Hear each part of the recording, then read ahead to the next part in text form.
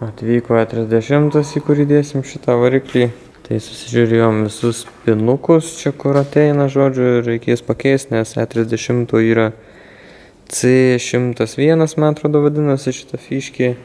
O E36 buvo kitokia fiškė, nu, ne kitokia, jinai tiesiog vadinasi X20.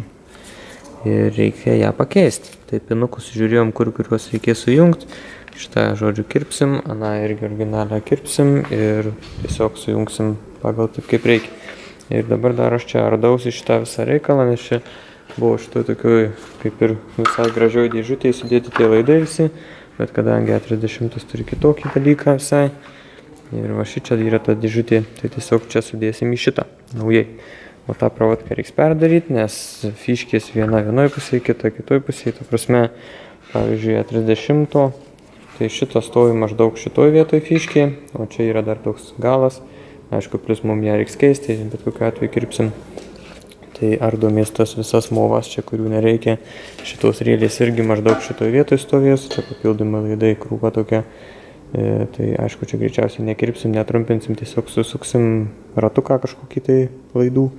Šitas laidas pliusinis turėjo į kitą šoną, tai irgi mes jį numesim į kitą šoną. Ir žodžiu, vat, panašus tokie dalykai. Taip pat čia yra diagnostinė vafiškė, 36 stovi šičia ir stovi antritės tos nusurikiuotos. O dabar mes padarysim, kad šita diagnostinė eis į aną šoną, kaip originaliai 30. Čia irgi dar pasvilus, tai greičiausiai 30 uždėsim, nes negražesnį žodžiu. Ir kitas dalykas, šitas rytės dėsim ne čia kaip originaliai, bet manau darysim coil on plug conversioną, kadangi vis tiek čia reiks nardyti viską ir tuos laidus tvarkyti. Įdėsim tiesiai šičia, kad būtų ryties vietose. Tai tik tai, nežinau, tai yra plokštelė dar tokia pagaminta, galbūt gaus žmogus.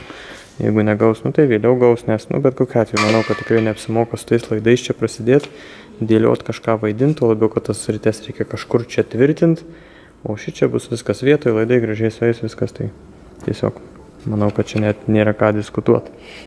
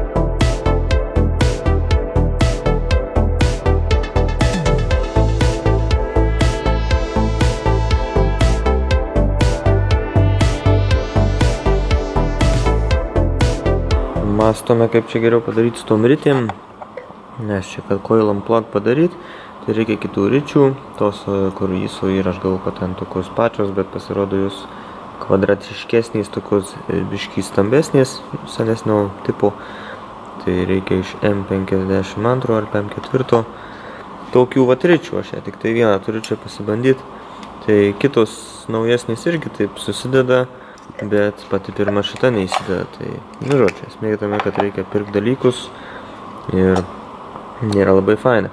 Kitas dalykas dar, kas man nepatinka su jom, tai kad jos nesilaiko, reikia jai, nu, plokštę, plokštę daryti. Ta plokštė ten internete žiūriu kainuoja, ta prasme, 5 eurų, ten kažkas prašo dar daugiau. už tą plokštelę tiesiog aš ją galėčiau pats sumoduliuoti, bet reikia laiko. Tai žodžiu, nelabai man patinka su šitom rytim dalykai. Tada pažiūrėjau, kad aš turėjau lentynoje tokių ryčių iš naujesnio BMW. Čia irgi yra be igniterio integruoto. Tai principė viskas bolton. Nu, ta prasme laidai tiesiog fiškeriai pakeisti. Ir gaunasi viskas ok. Tik tai, kad jinai nelenda.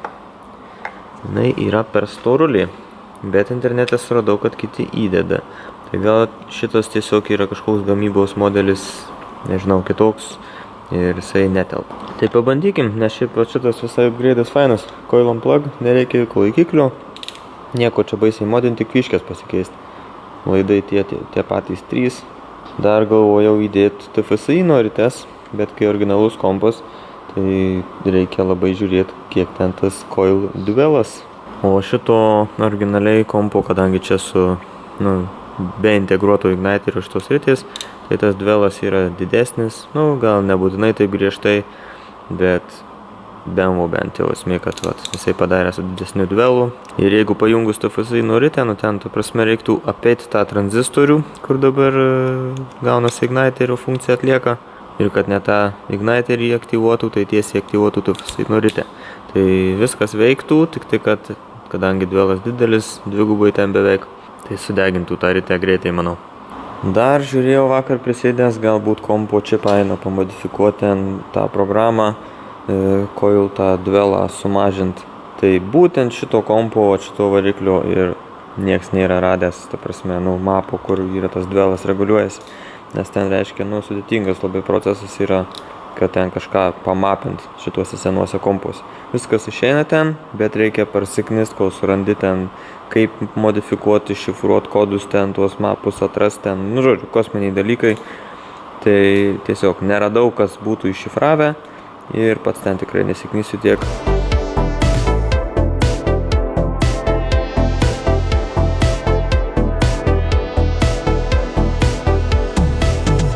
Tai nuėmus šitus du sluoksniukus viskas būtų gerai, bet, e, nu, tasme, kad lystų. Bet čia yra dar ant voštų dangtelio, pačiam gale čia, vad, nu, to skiliai kantukas toksai lengvas. Tai žodžiu, manau, kad mes praeisim su dremeliu tiesiog tą kantuką žikšt, žikšt, žikšt. Turėtų eit kaip bitutė, nes čia tip to paina šitoje vietoje.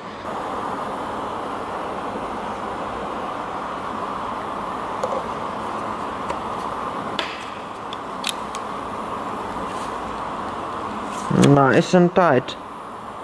Tai ir po visos dienos ir iki vakaro, net nežinau, kokią dešimtos aš čia varau. Ir pabaigėm šiaip netaip tą pravodkę. Nu, ne šiaip netaip tiesiog. Reikalų čia daugiau negu gali pasirodyti. Tai sujungėm sustaidus, atliekamų čia visokių kondicionierių dalykų, kurie 30 nebuvo. Čia šitus dar palikau du, nes greičiausiai juos reiks kartu sujungti, nes čia toj pravatkiai žodžiu, nu, nėra to laido galėjau pajungti nuo kito, bet kam pajungti nuo kito. Jeigu šitas irgi greičiausiai tiks, tai čia tiesiog, kai sudėsim variklį, viską pažiūrėsiu, jeigu čia pliusas nuo degimo, tai viskas ok, čia pajungiam ir ledas, nes čia yra ABS maitinimas. Tai žodžiu, visa kita labai fainai čia gražiai. Rytais irgi susidėjo viskas ok, čia biškai zateškę prikabinau tiesiog, kad neslystų, nes ta pravatkiai nori slyst. Aš norėjau, kad būtų vietoj taip, kaip bus. Sumetėm čia tas žodžiu OBD fiškę irgi nuo 30, nes ten ta pasilus buvo. C101 fiškė irgi perdėta visi pinai sujungti, kas priklauso. Perstumėm ten masę į kitą pusę visokių. Pliusą pašarinau vieną, kurio nėra kur pajungti, nu tiksliau iš saugiklinės E30 maina laidas į akumo klemą, čia pasis, prisisuks. O E36 buvo, kad iš klemos čia laidas šakojasi ir eina į saugiklinę, tai žodžiu. Tiesiog nukirpom ir sutvarkėm, čia va tasai pasidėjau. Čia irgi permetėm šitą gumą, neina juos, tokios neįmanoma juos numaut. Tiesiog perpjoviau čia ir bet kokiu atveju geriau negu nieko, arba ten ta kokia 36 guma, kuri visai netinka testuojamės dalykus dar, tai tiesiog e, bandžiau siurbliuką aktyvuoti, nes ten sakė viskas sudėta, viskas turėtų veikti, bet jisai nesiaktyvuoja. Reiškia, numavus vyškę, viskas ten dinksta grandiniai, užmovus atsiranda, reiškia, ten, nu, ten aš ieškau galų, kurių reikia ir, nu, ir šiaip ten susiradau piną mikroschemui, tiesiogiai duodant žodžių srovę į tą piną, nudegi saugiklis, Esmė, kad sirbliukas yra užstrigęs. Ten iš visur sutrumpinęs. Tai lupsim sirbliuką, žiūrėsim, greičiausiai reiks naują keisti. Toliau čia turim dalelyčių reikalingų, kad paleista mašina, kad jinai rėdėtų, užsikurtų, žodžiu, viską. Tai sankabos cilindriukas irgi seną pažiūrėjau strigęs neverta jo gaivint, nes ten tik tai su norinimu ir, žodžiu, leidžia ir panašiai ten visokios problemos. Tai tiesiog naują įmesim prie pedalų, dar pažiūrėsim stiprintuvo dalykai, žarnos, jeigu tiks tai gerai, jeigu netiks tai reiks presuot naujas. Variklio kompas ant kaladėlių kažkur tai buvęs įdomiai. Paskui dar atveš kardano dalykus. Čia yra ISO dėžė su gumom. Ai, tai va gumą dar reikia irgi naują užsakyti tada srauto matuoklį čia uždujinta buvus, tai irgi garantuotai, kad jai čia bus jau gyvenimo mačius dalykai, nu, žodžiu, dalykai bus įdomus. Čia vėlgi sklendys visokios. Tai turim dar seną srauto matuoklę iš ten to seno variklio, ten 1.896, nežinau. Bet dėžė, nu, reiks pažiūrėti, jeigu dėžė išeina iš saugų, tai dė, paliksim šitą, nes čia nu, tvarkinga. Toliau čia daugiau, aišku, niekas netinka, dujų nebus. Na, o šitą srauto matuoklę bandysim atrestauruoti, jeigu aišku, ten davikliai visi veikia temperatūros ir tas potenciometras ir pati sklendė neišsitaškius. Įsitraukėm sirbliuką ir nieko nuostabaus, kad jisai neveikia. Visiškai, žodžiu, čia supuvęs, užpuvęs, užkirmijęs. Paėmėm, nu, užsakėm su visų korpusu, nes čia ir korpusas irgi aprūdėjęs, plus tarpiniais reikia, nes nieko nelaiko. Ir dar kas labai svarbu, kad čia ta kūro lygio matuoklį, kur statosi, tai vienas buvo nulaužtas varžtas, kitas prasuktas, tai šiaip netaip čia išardėm žodžiu. Tai pasikeisiu korpusu su viskuo. Turime čia tą guoliuką centravimo dėžės štoko naują. Ir dabar tik tai pastebėjau, kad skiriasi vidinis diametras. 36 greičių dėžės štoko centras yra didesnis negu E30. Tai esmė, kad su šitų goliukų dėžiai būtų užsidėjus, bet nesicentruotų taštokas ir susijęstų dėžė greitai. Žodžiu, labai gerai, kad apsižiūrėjau aš čia tą goliuką, aišku, šitas bet kokiu atveju čirpintis ir užsakiau pagal krastą, tokį kokio reikia. Vykdysim pirmą bandymą variklį pasodint. Dabar čia tokį kombinacinį dalyką padariau, kad ten variklio pagalvį yra M40, o ši čia M20 už tai, kad šitą šoną biškį norėtųsi man pakelt aukščiau, nes čia prie to bokelio tas kolektorius greičiausiai bus labai arti. Tai tiesiog pabandysim taip, jeigu ne, tai turiu E36 abi pakalbės, jeigu ne, tai kažkaip tai dar kitą, nes esmė, kad E36 yra aukščiausios pagalbės, M20, E30 yra žemesnis biškį, M40 yra žymiai žemesnis, tai tiesiog surasim kombinaciją, kuri labiausiai tinka ir bus gerai. O M42 E30 nėra pagalvių.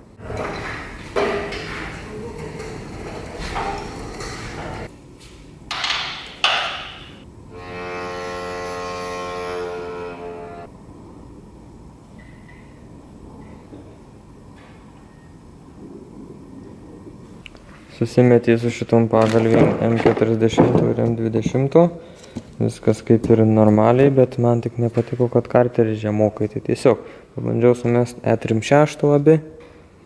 Na ir nežinau, šiaip tai viskas labai neblogai, pakilo.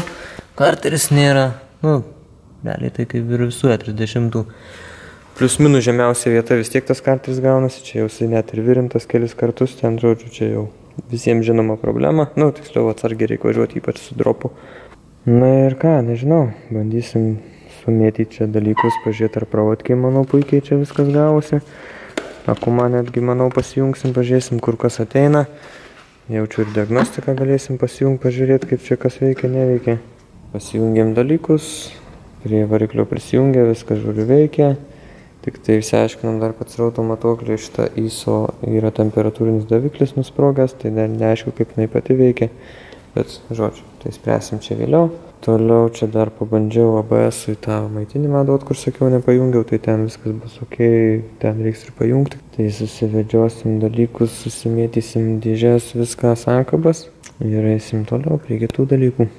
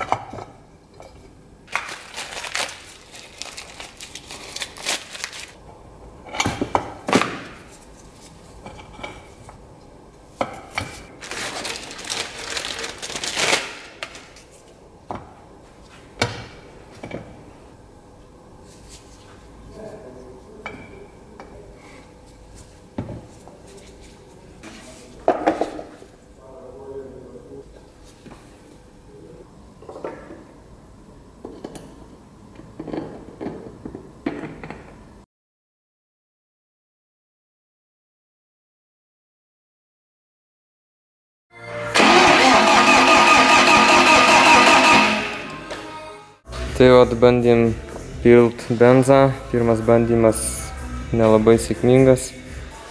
Pažiūrėsim, kas ten nepajungta prie bako, ar nežinau. Tai žodžiu, užsipilam.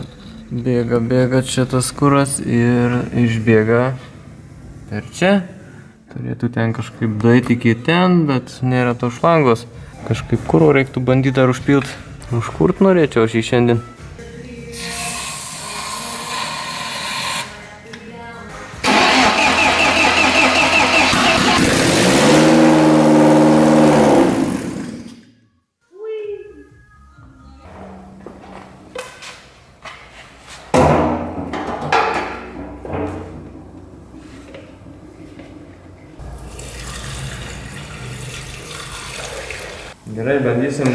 Ant benzino dabar.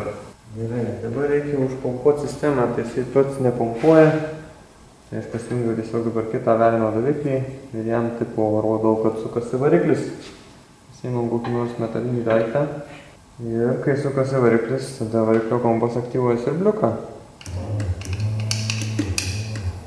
Bet kažkaip neatvažiuoja čia tas kuras. Aktyvuojam patį siurbliuką.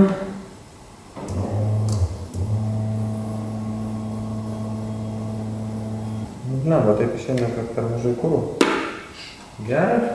Tiesiog pagalvojau, kiek šansų, kad sumaišyti polį ir ten siurbliukų. Tai tiesiog sukeičiau dabar, nes gali būti, kad jis bando ne iš bako patraukti, o į baką įpūst kūrų, kas nelogiška, tai žodžiu. O?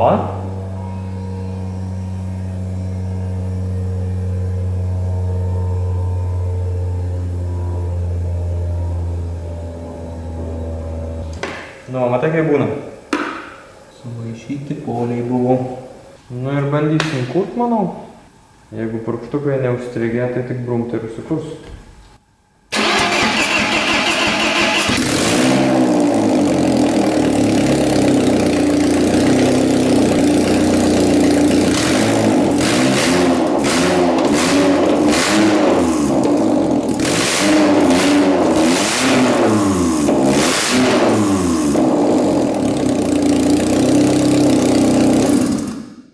Ledas dirba kaip laikrodukas. Tai sudėliojom visokius dalykus, kardaną įdėjom, viską dabar sujungta, galima važiuoti. Radiatorius, čia, žodžiu, visi dalykai. Išmetimo kolektorių uždėjom, bet ten tos kelnės netelpa, nes čia A36. Reiks keisti tą cilindrą, nes jisai užpuvęs irgi. Ir dabar varysim į lauką, pašildysim biškį, viską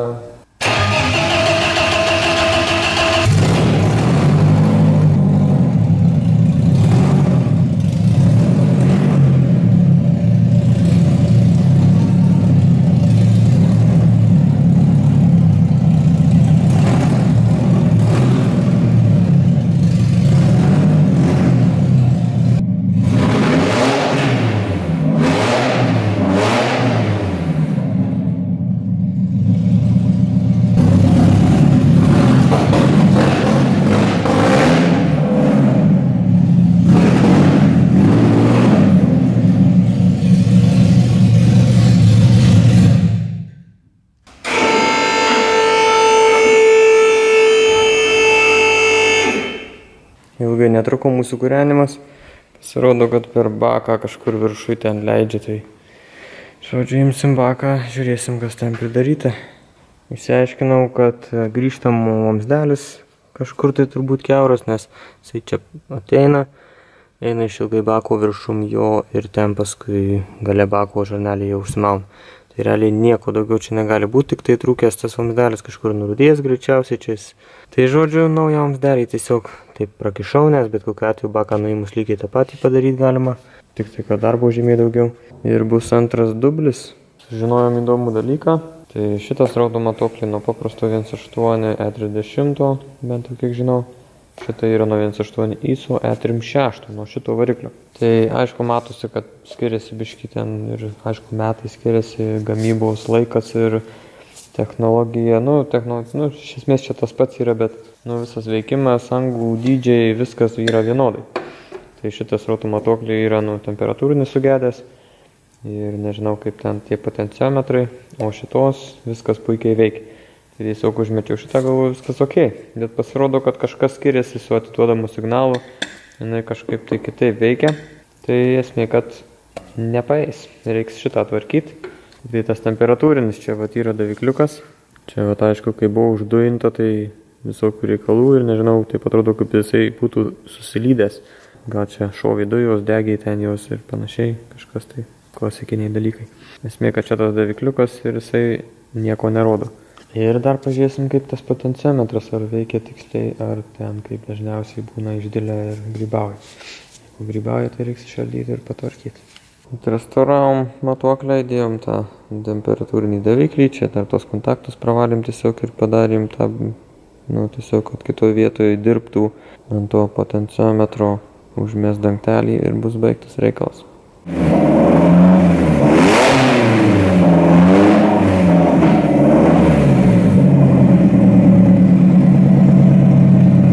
Įmetėm pagrindinį tą cilindriuką, viskas dabar gerai ateina iki ABS blokų, bet iš ABS blokų neišeina. Būtent neišeina galas ir niekaip neišėjau pramaklinti, ta prasme bandžiau aktyvuoti ant pats e, tą ABS bloką, voštuvus priekio, abiejų šonų ir galo, nes čia trys voštuvai gaunus yra.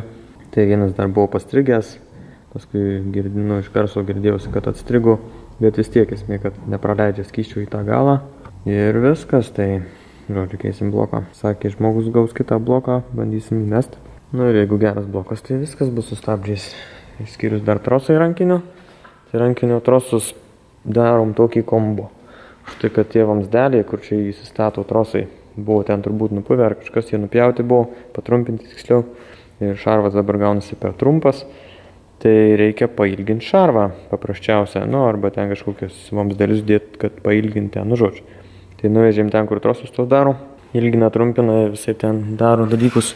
Žodžiu, finalė prieėjom tokio dalyko, kad e, paėmėm trosus nuo būgninių stabdžių, nes jų šarvas yra ilgesnis ir pats trosas ilgesnis. Tik tai skiriasi tas galiukas, kad kilputė yra pas diskinius, o pas būgninius yra šarata žodžiu. Paims tą ilgesnį šarvą, jį panaudos, kad pailgint tuos, kur reikia trosus.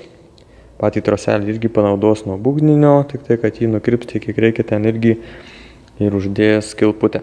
Tai žodžiu, gausis tokie kombinuoti trosai, bet nu, tiesiog čia kitaip nelabai išeina. Sakė, krastui to vamsdelio irgi nėra pirkta, aš tai dar nusipirkau, įsidėjau naują. Tai čia žodžiu, nieko labai neprigalvosi geriau. Nu ir šiaip čia finale bus viskas ok.